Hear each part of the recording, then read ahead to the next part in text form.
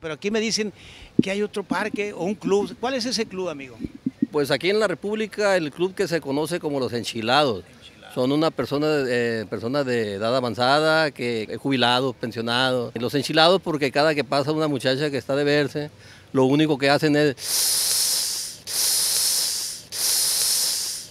como si estuviera enchilado. Hay otro grupo que se llaman los pájaros muertos. Eso ya no tienen lucha. Las águilas caídas, ¿por qué? Porque de vez en cuando levantan el vuelo y eso es lo que queda para la historia. Y aquí, aquí nosotros venimos a platicar y a contar anécdotas, mentiras y, y lo que se viene en mente. ¿Y usted se cree las mentiras? Pues de todas las mentiras que echan, pues una que otra, más o menos. ¿Y usted en cuál de los clubes se ubica? En el del Club de los Enchilados. ¿Y cómo le hace un enchilado?